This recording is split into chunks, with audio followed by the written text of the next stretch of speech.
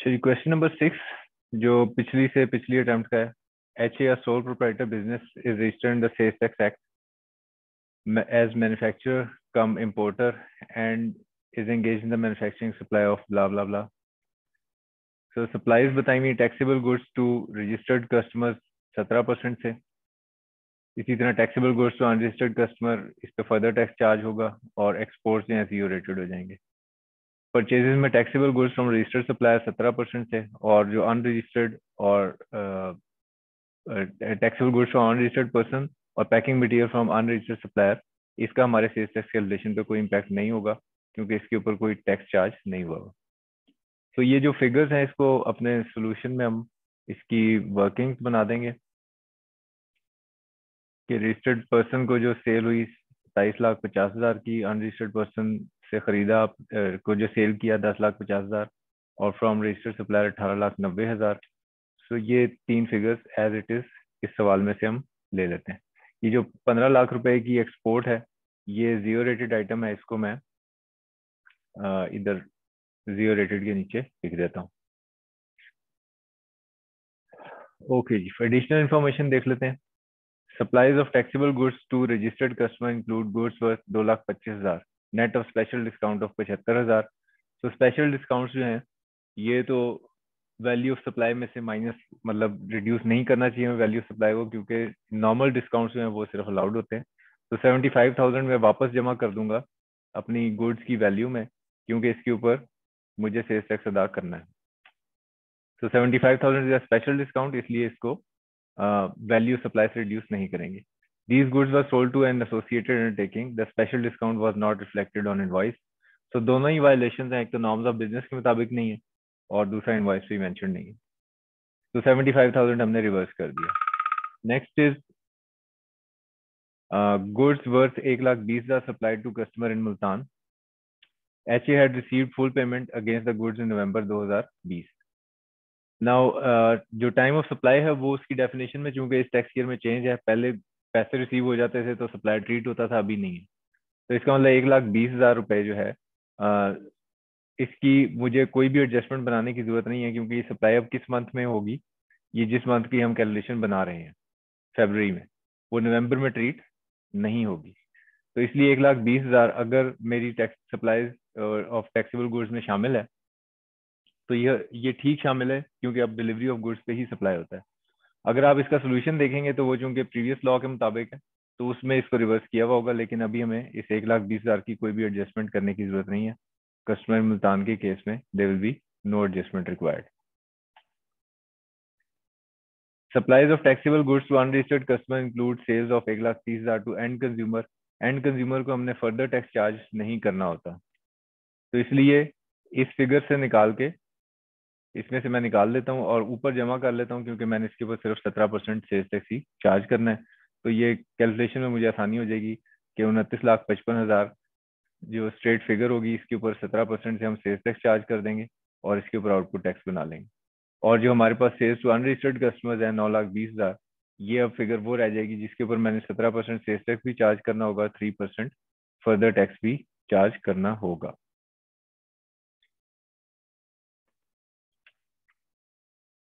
Registered supplier include goods worth एक lakh purchase from Haq enterprises on पाँच फरवरी दो हज़ार इक्कीस ऑन बीस फरवरी दो हज़ार इक्कीस uh, HA informed that with effect from 1st February its registration has been suspended. तो रजिस्ट्रेशन अगर सस्पेंड हो जाए तो इनपुट टैक्स क्लेम नहीं हो सकता। तो इसलिए 100,000 जो आपने परचेज की है फ्रॉम रजिस्टर्ड सप्लायर्स तो उसका आप इनपुट टैक्स नहीं क्लेम कर सकेंगे और आप उसको अपनी वैल्यू में से वैल्यू सप्लाईज में से माइनस कर लें। ताकि इनपुट टैक्स क्लेम ना हो सके।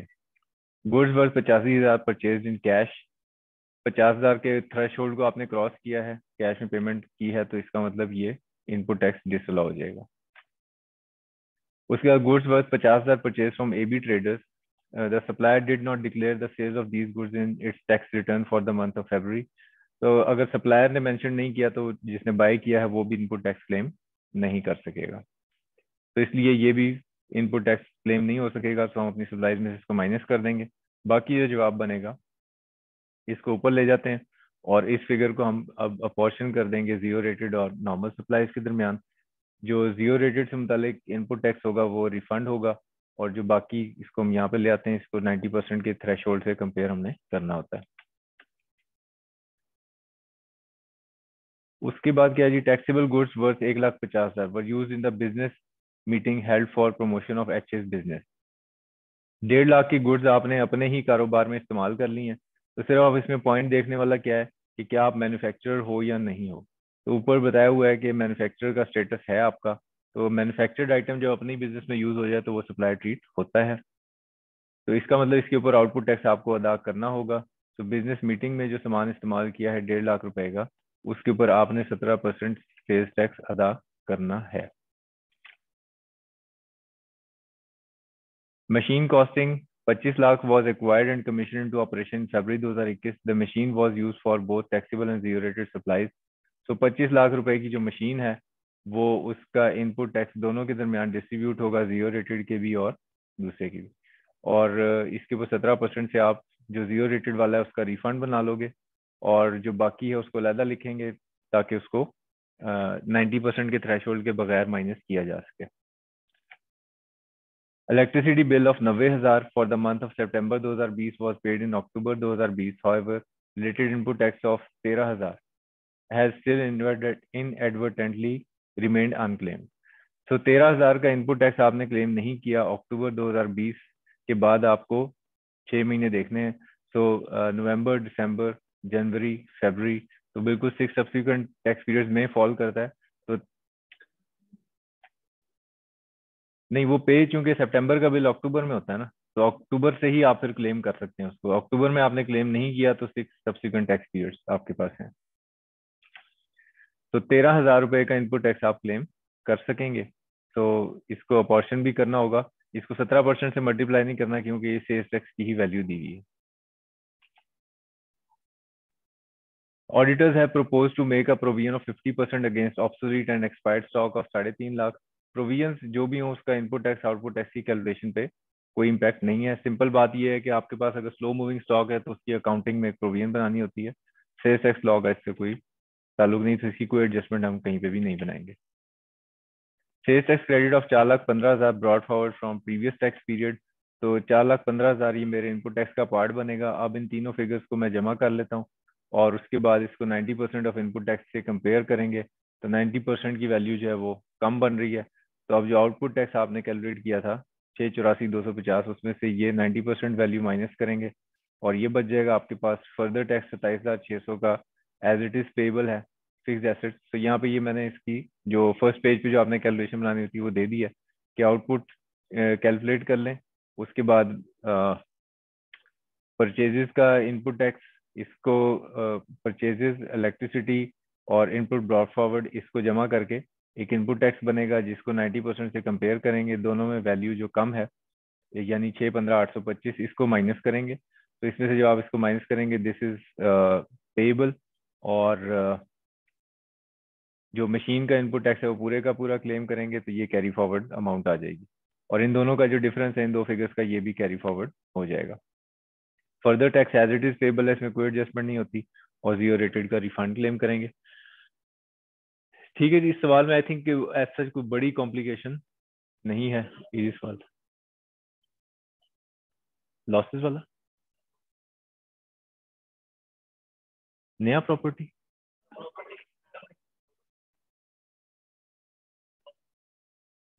अच्छा वो वाली स्लाइड जो है, ये मुझे याद नहीं अगर नहीं है तो मैं शेयर नहीं भेजा, मैं आज शेयर कर देता हूँ ग्रुप में शेयर कर दूँगा। ओके सो जल्दी से ज़रा क्विकली हम इसके एग्जामिनर कमेंट्स पढ़ लेते हैं कि जो मेन मिस्टेक्स हैं, ताकि वो हाईलाइट हो जाएँ और आप उसको बहर सूरत अवॉइड करेंगे अपने पेपर का सोल्यूशन बनाते हुए। This is question number six taxable value of electricity bill was erroneously considered as input tax paid.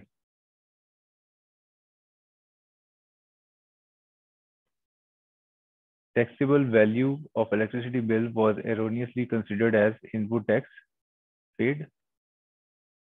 इसका क्या मतलब हुआ? इलेक्ट्रिसिटी बिल की एडजस्टमेंट पढ़ लेते हैं एक बार दोबारा। इलेक्ट्रिसिटी बिल ऑफ़ नब्बे हज़ार for the month of September was paid in October however input tax let अच्छा ठीक है, वो स्टूडेंट ने नाइन्टी थाउज़ेंड को इनपुट टैक्स ले लिया होगा ना। तो वो ये कह रहा है कि इलेक्ट्रिसिटी बिल की अमाउंट को आपने इनपुट टैक्स पेड कंसिडर कर लिया।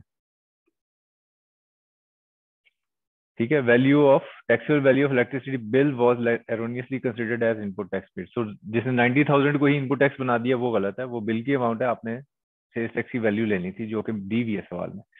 Further tax was calculated on entire amount of supplies including supplies to end consumer ठीक है।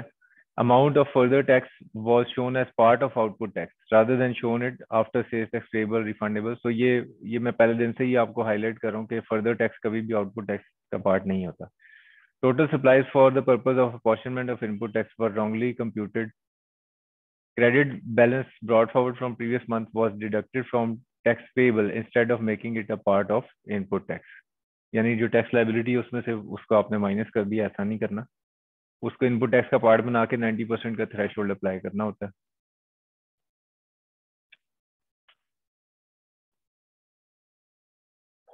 ओके ऑटम 2020 इसका सवाल अब देख लेते हैं।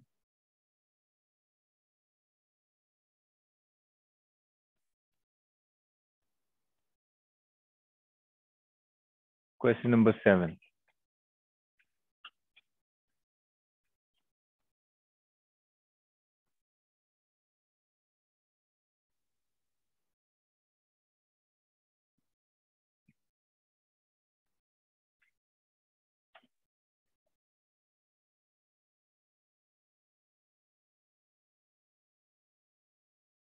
हाँ जी, कोई मसला हो गया?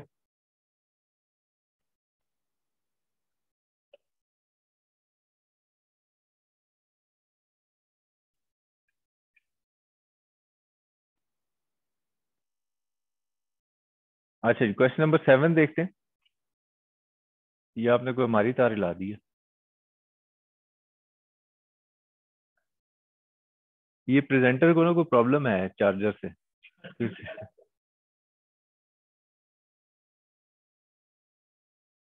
आप ये ऐसा करो ना मेरे पास बैटरी बैंक पड़ा है इस पर लगा लो। इसमें हाँ? अच्छा जी ये क्वेश्चन देखें। Taxable goods to registered person 7.5 million so 17 percent से सेल्स टैक्स चार्ज होगा इसके ऊपर। तो मैं साथ साथ फिगर्स भी हाईलाइट करता जाता हूँ सोल्यूशन में। सो so, 7.5 मिलियन इसमें कुछ एडजस्टमेंट्स हैं इसके इसलिए इसको अलहदा किया हुआ है। Taxable goods to unregistered person तेरह लाख रुपए की। इसके ऊपर फर्दर टैक्स चार्ज होना होता है। Export expo sorry exempt goods to unregistered person तो एग्ज़ाम गुड्स हैं तो सेल्स टैक्स से तो इसका कोई ताल्लुक कैलकुलेशन नहीं होगी, लेकिन बता अपॉर्चुनमेंट के लिए ये फिगर इस्तेमाल होती है वन मिलियन की। उस, और पाँच लाख रुपए एक्सपोर्ट टू सऊदी अरेबिया ये ज़ीरो रेटेड होगा as it is purchases taxable goods from registered person चौहत्तर लाख रुपए की। तो इसमें कुछ एडजस्टमेंट्स आपको लेना होंगी चौहत्तर लाख रुपए की। Next is taxable goods from unregistered person और इसका कोई ताल्लुक नहीं हमारी सेल्स टैक्स कैलकुलेशन में। और fix assets from registered supplier पच्चीस लाख रुपए, इसका ट्रीटमेंट फिक्स एसेट्स वाला होगा। So will just mention it पच्चीस लाख रुपए ये आगे डिटेल अभी आ जाती है कि ये दो मशीन एक्चुअली परचेज की हैं आपने मशीन ए और बी पच्चीस लाख रुपए की। अच्छा supplies of taxable goods to registered person include goods worth पाँच लाख साठ हज़ार sold to new customer at a discount of twenty percent G F normally allows discount of ten percent तो नॉर्मल डिस्काउंट के ऊपर बिल्कुल आपको अलाउड uh, है कि आप डिस्काउंटेड वैल्यू के ऊपर कैलकुलेट कर लें। अपना आउटपुट टैक्स अगर आपने ट्वेंटी परसेंट डिस्काउंट दे दिया है तो इसका मतलब पाँच लाख साठ हज़ार की जो वैल्यू है, वो अस्सी के बराबर है। सौ में से बीस परसेंट माइनस करोगे तो ये अस्सी के बराबर है। और आपको दस परसेंट डिस्काउंट तो अलाउड है। ठीक है? तो अब दो तरीके हो सकते हैं। या तो पाँच लाख साठ हज़ार को स्ट्रेट वे माइनस कर दो उसमें से, जो वैल्यू सप्लाई उसमें से, और एक सही वैल्यू बना के दोबारा वापस जमा कर दो। तो सही वैल्यू आप बनाएँ, वो कितनी बनती है? पाँच लाख साठ हज़ार डिवाइड बाई अस्सी और मल्टीप्लाई कर देंगे नाइन्टी से। ठीक है? छह लाख तीस हज़ार। छह लाख तीस हज़ार का डिफरेंस कितना है? पाँच लाख साठ हज़ार से। सत्तर हज़ार का। तो एक तरीका ये है कि सत्तर हज़ार उसमें वापस जमा कर दें, या फिर पाँच लाख साठ हज़ार निकाल के छह लाख तीस हज़ार वापस जमा कर दें। दोनों तरीके ठीक है। तो यहाँ पे हमने एक शॉर्ट तरीका अडॉप्ट किया, सत्तर हज़ार जो गलत डिस्काउंट था, वो वापस जमा कर दिया। An invoice issue to Qasim erroneously for पाँच लाख नब्बे हज़ार where as correct invoice was नौ लाख पचास हज़ार। तो इसका मतलब इसकी करेक्शन करनी पड़ेगी। और जितना वैल्यू ज़्यादा बनता है, वो इस दफ़ा आउटपुट टैक्स में आप शामिल कर लेंगे। तो पाँच नब्बे से नौ पचास का फ़र्क आप ले लें तो वो कितना आ जाता है? तीन लाख साठ हज़ार ये आप जमा कर लें ताकि इसके ऊपर आउटपुट टैक्स जमा हो जाए। Supplies of taxable goods to unregistered person include अट्ठाईस हज़ार पाँच सौ to end consumer end consumer पे फर्दर टैक्स चार्ज नहीं करना होता तो इसलिए मैं इसको यहाँ से निकाल देता हूँ अट्ठाईस पाँच सौ को और इसको यहाँ पे जमा कर लेता हूँ अट्ठाईस पाँच सौ को। Exempt supplies of 50000 were returned by unregistered customers during the period so exempt को कम कर देते हैं पचास हज़ार रुपए से आप ये ऊपर जो एग्ज़ाम गुड्स लिखी थी इसमें से पचास हज़ार निकाल देंगे two machines A B costing पंद्रह लाख एंड दस lakh respectively were required and commission to operation machine A used for manufacture of taxable, local as well as exempt supplies. तो मशीन ए की जो अपॉर्शनमेंट है, वो पंद्रह लाख रुपए की मशीन है और इसको लोकल सप्लाईज के लिए ही इस्तेमाल किया गया। तो इसलिए इसकी अपॉर्शनमेंट इन दो कॉलम्स में आएगी। जो ज़ीरो रेटेड वाला कॉलम है, उसमें इसकी कोई भी कॉस्ट शामिल नहीं करनी है। और जो मशीन बी है, वो it is only for export supplies तो इसको सिर्फ़ और सिर्फ़ दस लाख को कहाँ पर लेकर आएँगे? ज़ीरो रेटेड में। हाँ जी, कोई कंफ्यूजन है? हाँ? अच्छा चले। ओके सो मशीन्स की एलोकेशन जो एग्जाम्प्ट वाला है इनपुट टैक्स ये तो ज़ाया हो जाएगा। अलबत्ता जो ज़ीरो रेटेड वाला है इसका रिफंड क्लेम हो सकेगा।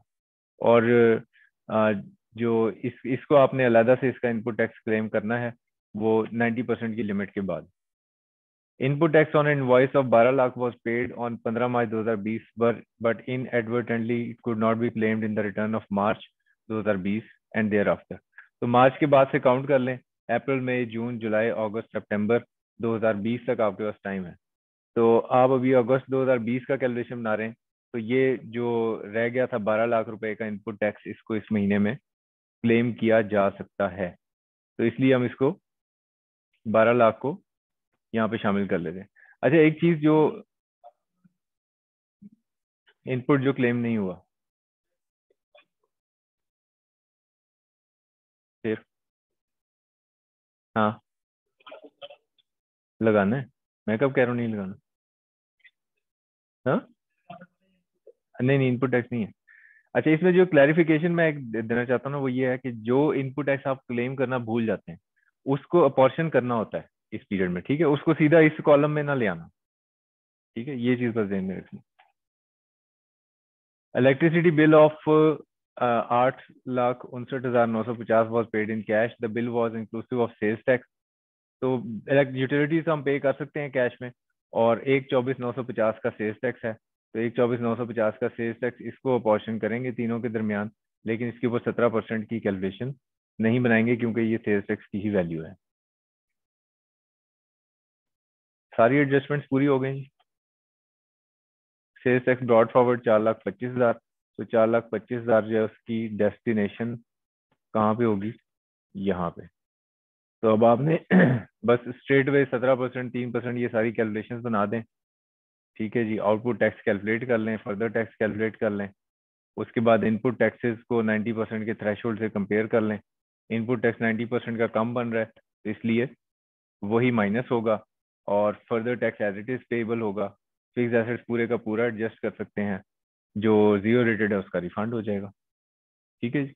तो अगर आप सेल्स टैक्स के सवालों में देखें ना कुछ ज़्यादा बड़ी आ, मतलब कॉम्प्लिकेशन आती नहीं है।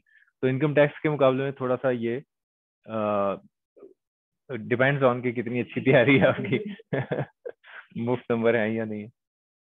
अच्छा जी क्विकली ज़रा एग्जामिनर कॉमर्स देख लेते हैं ताकि और मज़ीद पक्का हो जाए आपको कि कौन सी चीज़ों में गलती नहीं करनी है आपको।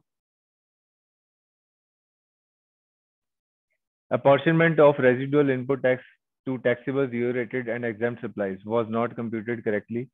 Sales tax return of exempt supplies was not deducted from total supplies. Use for apportionment of residual input tax वो माइनस किए बगैर अपॉर्चनमेंट बना दी ये गलती की further tax was adjusted against input tax on fixed assets instead of being shown as separately payable excess of input tax on fixed assets. Over sales tax payable was incorrectly shown as sales tax refundable instead of shown in sales tax to be carried forward. तो ये refund नहीं होता, ये carry forward होता है। Refund सिर्फ़ और सिर्फ़ ज़ीरो रेटेड वाला होगा। या फिर साल के एंड पे जो आप एनुअल रिटर्न फ़ाइल करते हैं, उस वक्त वो सारा प्रोसेस होता है कि साल के खत्म होने के दो महीने के बाद आपका रिफंड बन जाता है अगर तो वो आप ले सकते हैं। Sales tax on electricity was not included in input tax so I think इनमें से कोई भी ऐसी मिस्टेक नहीं जो मैं एक्सपेक्ट करूँ कि आप लोग कर जाएँगे। ये बेसिक कॉन्सेप्ट काफ़ी बेहतर हैं। अच्छा जी सेल्स टैक्स के अब जो कुछ एक दो छोटे छोटे सवाल रह गए उसको देख लें। मैं उसके उसकी डिटेल्स सवाल पढ़ के, जवाब पढ़ के आपको यहाँ नहीं सुना रहा। हम जरा जो हमने इनकम टैक्स का एक पोर्शन छोड़ दिया था उसका न्यूमेरिकल डिस्कस कर लेते हैं। हम सॉल्व नहीं करेंगे उसे। जस्ट डिस्कस इट जो उसके इम्पोर्टेंट एरियाज़ हैं। तो ये ऑटम 2020 का ही जो इनकम टैक्स का पोर्शन था ये हम जरा डिस्कस कर लेते हैं। सो so, एक इसमें ये सवाल है क्वेश्चन नंबर वन जो कि एक मेन क्वेश्चन है उन्नीस नंबर का और क्वेश्चन नंबर टू ये भी एक थर्टीन मार्क्स का क्वेश्चन है। सो आई थिंक ये क्वेश्चन नंबर थर्टीन मैंने आपको सॉल्व कराया है। और इसका वीडियो भी मैंने आपको दिया है। तो वो लिंक मैं शेयर कर दूँगा इसी वीडियो के डिस्क्रिप्शन में, वहाँ से आप उसको देख लेंगे।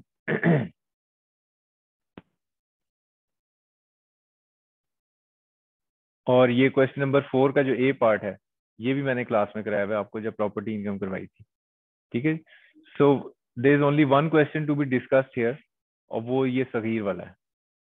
लेकिन इसके अलावा जो अगर आपका कोई सवाल होगा इस पेपर के किसी क्वेश्चन पे तो वो मैं आंसर कर दूँगा। So Sagir, a resident is working as full-time professor at Knowledge Institute, which is non-profit education research institution, is duly recognized by Higher, Higher Education Commission. ये जो इंफॉर्मेशन दी हुई है इससे फ़ौरन आपको क्या पता चल रहा है पच्चीस परसेंट का तो सारी कंडीशंस पूरी कर रहा है ये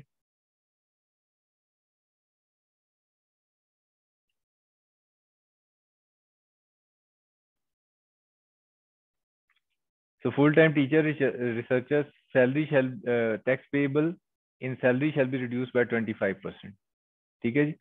और हायर एजुकेशन कमीशन से रिकॉग्नाइज इंस्टीट्यूट है तो कंडीशंस तो पूरी हो रही हैं। तो इसका मतलब आपको एक टैक्स रिबेट बनाना होगा यहाँ से तो ये चीज़ पता चल गई फॉरन। Detail of is monthly emoluments basic salary को सारा टैक्सेबल कर दें जी।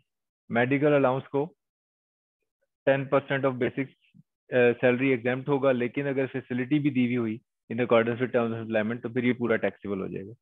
Fair market rent of accommodation now ये परक्रेडिट के तौर पे आप इसको ट्रीट करेंगे फेयर मार्केट रेंट है अकोमोडेशन का तो इस forty five percent of M और बेसिक सैलरी से कंपेयर करेंगे और फिर उसके बाद सैलरी इनकम में लेके जाएँगे। In addition to above he was also provided the following health insurance for Sagheer and his dependents as per the terms of employment for this purpose K I is paying annual insurance of चार चालीस हज़ार। Insurance चालीस हज़ार हो जाए, चार लाख हो जाए, चार करोड़ रुपए हो जाए, अगर in accordance with terms of employment है, सारी की सारी एग्ज़ाम हो जाएगी। और इसकी वजह से मेडिकल अलाउंस सारे का सारा टैक्सेबल हो जाएगा। प्रोविडेंट फंड कंट्रीब्यूशन पंद्रह हज़ार per month to recognise provident fund an equal amount was also contributed by Sagheer to the fund तो ये पंद्रह हज़ार पर मंथ है, इसके ऊपर आपने प्रोविडेंट फंड की जो एग्जामेशन लगती है कौन कौन सी एग्जामेशन है? डेढ़ लाख और ten percent of basic salary और इसमें से जो लोअर होता है लोअर होता है वो एग्ज़ाम फ्रॉम टैक्स है, ठीक है तो ये यहाँ से ये वाली प्रोविज़न आपने अप्लाई कर देनी है। और एग्जामेशन के बाद आप शामिल कर देंगे अमाउंट उसके बाद ऑन जुलाई एक, दो हज़ार उन्नीस सगीर है was granted an option to acquire दस हज़ार शेयर एम्प्लॉय शेयर ऑप्शन का सवाल है जी। एट अ प्राइस ऑफ़ एक सौ पचास per share under an employee share scheme Sagheer bought the option on the same date by paying एक लाख पचहत्तर हज़ार। सो ऑप्शन की एक प्राइस यहाँ हुई कि इतने में उसने खरीदा है। When the fair market value of the option was दो लाख, ये एक इरेलीवेंट इन्फॉर्मेशन है, इसका कोई ताल्लुक नहीं आपकी कैलकुलेशन पे। He exercise the option on 30 September 2019 when fair market value was 130 per share ये इसने ऑप्शन एक्सरसाइज कर लिया। इसका मतलब ऑप्शन वापस करके शेयर ले लिए। और 130 का शेयर उसने खरीदा है और कितने शेयर वो खरीद रहा है?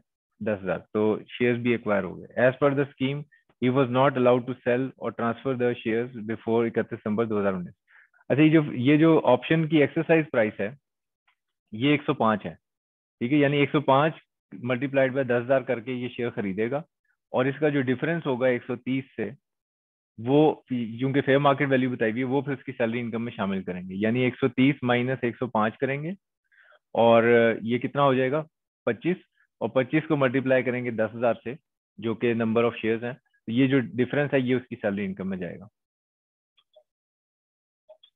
हाँ जो ऑप्शन की कॉस्ट है, वो भी उसमें से माइनस होगी।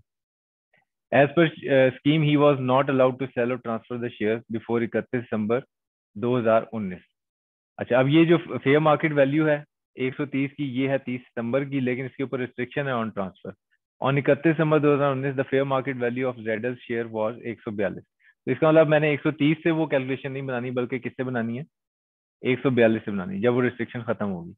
On 30 May 2020 he sold 5000 share for 135 per share ये अब कैपिटल गेंस का सिनेरियो बन जाएगा कि आपने कंसिडरेशन में से माइनस कर देनी है, जो प्रीवियस फेयर मार्केट वैल्यू है, और उससे फिर डेफिनेटली इसका यहाँ पे लॉस वाला सिनेरियो बनेगा, क्योंकि 135 का इसने बेचा है, और 142 से इसे ऑलरेडी इनकम में जा चुका है तो it will be a scenario of loss तो वो जो लॉस का जो सिनेरियो है उस उसको फिर कैपिटल गेन्स में देखेंगे आपके वो शेयर किस कंपनी के हैं। जेडल के शेयर हैं, ठीक है जी। और जेडल जो है उसका स्टेटस ऊपर देखें क्या है। नहीं sorry option to acquire share Zedal at a price हाँ तो इसका मतलब ये सिक्योरिटी हो गया, ठीक है। तो सिक्योरिटी के लॉस को सिक्योरिटी के लॉस वाला ट्रीटमेंट देंगे आपके वो तीन साल तक कैरी फॉरवर्ड हो सकता है। और अगर इस साल में कोई सिक्योरिटीज का गेन होगा तो उसके अगेंस्ट एडजस्ट भी हो सकता है। On first July 2019 Sagheer obtained an interest free loan of 15 lakh from K I in exchange for which he agreed to waive the interest receivable on provident fund balance maintained with K I interest provided on provident fund balance for the year was 8% the prescribed benchmark rate is 10% तो अब ये 10% rule आपने apply नहीं करना होगा, क्योंकि वो waiver of interest की वजह से है। इकतीस August 2019 he receive leave encashment of दस हज़ार relating to previous year leave encashment जो है, वो उसमें सिर्फ़ एक ही एग्जामेशन है और वो एलपीआर गवर्नमेंट एम्प्लॉय की जो एलपीआर की एग्जामेशन तो ये तो टैक्सेबल होगा। During the year tax of rupees एक लाख साठ हज़ार वॉज़ डिडक्टेड एट सोर्स ये विद होल्डिंग टैक्स है, ये टैक्स पेबल में से माइनस करेंगे। Other information relevant to tax year 2020 on 15 January 2020 he sold a shop situated in Karachi for 15 million he had purchase this shop in 2018 for 19 million, out of which 5 million was paid in cash. अच्छा जी एक shop उसने cell कर दी। तो पहले तो देखो कि क्या ये डेप्रेसिबल एसेट था या ये इसका कैपिटल एसेट था। तो ये कारोबार के लिए तो इस्तेमाल नहीं हो रहा था। ठीक है जी? तो इसका मतलब ये है कि इसका कैपिटल एसेट होगा और अगर कैपिटल एसेट है तो इसकी कंसिडरेशन में से कॉस्ट माइनस करेंगे। ठीक है जी? तो कंसिडरेशन कितनी है? पंद्रह मिलियन और कॉस्ट कितनी है? उन्नीस मिलियन लेंगे या पाँच मिलियन माइनस करके लेंगे माइनस करेंगे। क्यों? क्योंकि फाइव मिलियन जो है, ये अमाउंट उसने कैश में पे कर दिए। तो इस वजह से ये कॉस्ट का पार्ट नहीं बनेगी। On first March 2020 he sold residential plot situated Faisalabad for 18 million the plot was inherited from his father fair market value of the plot at the time of inheritance was 7 million तो simple है जी अठारह में से सात million minus कर दो आप। तो आपका कैपिटल गेन बन जाएगा। इमूवेबल्स के केस में होल्डिंग पीरियड देखकर आपने उसको one by two one three by four बोल सकते जी? जी, दोनों इमूवेबल इन जून 2020 हज़ार बीस independently developed learning course for sale through a web based market place manage by a company situated outside Pakistan on 25 June दो हज़ार received US dollar so into dollar account from the sale of this courses withholding tax आठ percent was deducted from receipt as per income tax laws of the foreign country तो ये actually foreign tax credits की एक provision test करना चाह रहा है कि आपकी फॉरेन सोर्स इनकम है अगर तो उसके ऊपर जो फॉरेन टैक्सेस होते हैं, उसका फॉरेन टैक्स क्रेडिट बनाना है आपने। ठीक है सो रेलिवेंट एक्सचेंज रेट्स आपको बताए हुए हैं यहाँ पे। तो होगा क्या कि आपने जो एट परसेंट से टैक्स विदहोल्ड हुआ फॉरेन लॉज के मुताबिक, उसके, उस इनकम के ऊपर इनकम कितनी यहाँ पे बता रहा है वो? US dollar four two six zero ठीक है so four two six zero को 25 जून के रेट के ऊपर जो कि यहाँ पे बताया हुआ है आप कन्वर्ट करेंगे और एक इनकम बनाएँगे। उस इनकम के ऊपर जो पाकिस्तान में टैक्स बनता है वो कैलकुलेट करेंगे at average rate of tax और उस टैक्स को कंपेयर करेंगे जो आठ परसेंट से टैक्स विदहोल्ड हुआ उससे तो जो लेसर अमाउंट होगी वो उसका टैक्स क्रेडिट बन जाएगा। जो रेलिवेंट नोट्स uh, की जो स्लाइड है वो आपने कौन सी वाली रेफर करनी होगी? तो टैक्स क्रेडिट्स में ये फॉरेन टैक्स रेट्स इस स्लाइड को या इस इसका जो मैंने वीडियो दिया हुआ है उसको एक दफ़ा रिवाइज कर लीजिएगा। आपको समझ आ जाएगा। On first June 2020 Sagheer paid 25 lakh as donation to non profit organisation so इसका हम टैक्स क्रेडिट बनाएँगे जी। सो so, दो टैक्स क्रेडिट्स हैं यहाँ पे। पहले फॉरेन टैक्स क्रेडिट बनेगा और उसके बाद ये पार्ट टेन चैप्टर थ्री वाला चैरिटेबल डोनेशन का। ठीक है सो वैल्यू सी बना के एवरेज रेट ऑफ़ टैक्स इसका टैक्स क्रेडिट बनाना है। ओके okay, so ये सवाल आप इसको सॉल्व करें और मुझे फिर भेजें सॉल्व करके। मैं उसको चेक करके बता दूँगा इसमें कहाँ पे गलती है ठीक है? इसको हम सॉल्व नहीं कर रहे इधर क्योंकि काफ़ी सारे कौन इसमें एक आधा ही कोई नई चीज़ होगी वरना तो सारी चीज़ें हम बेताशा मरतबा क्लास में हम सॉल्व भी कर चुके हैं पास पेपर में भी देख चुके हैं। ओके okay जी अब अगर किसी का कोई सवाल है कंक्लूड करते हैं आज के सेशन को। तो अगर सवाल है किसी का anything you want me to repeat या कोई पास पेपर में कोई कंफ्यूजन हो जी हमाद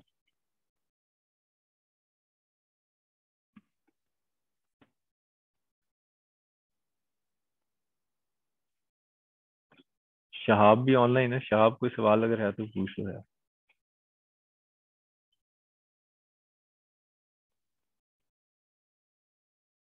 अच्छा अच्छा।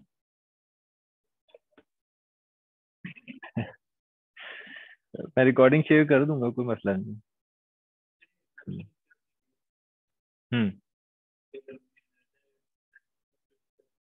हम्म इसको मैं आ, एक मिनट शाहब से पहले पूछ लूँ कि इसका कोई क्वेश्चन है कि नहीं? शाहब आपका कोई क्वेश्चन है? ये चले हम चलने देते हैं ना अभी रिकॉर्डिंग अगर बीच में हो सकता है आपके सवाल से इसका कोई सवाल आ जाए। हाँ।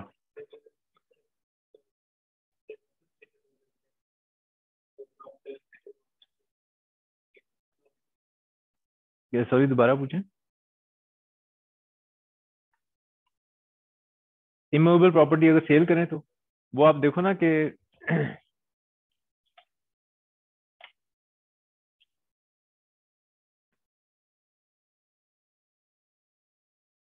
देखिए लिखा ना कि अगर holding period more than four years हो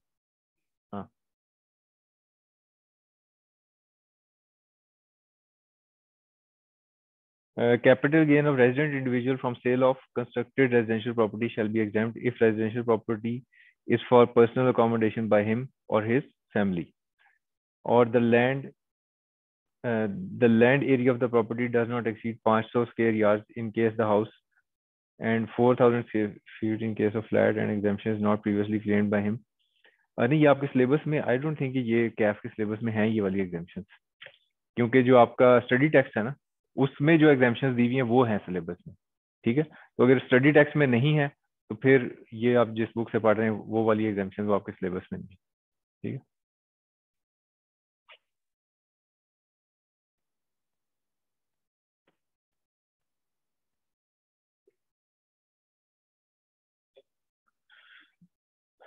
जी जनाब, और भी सवाल?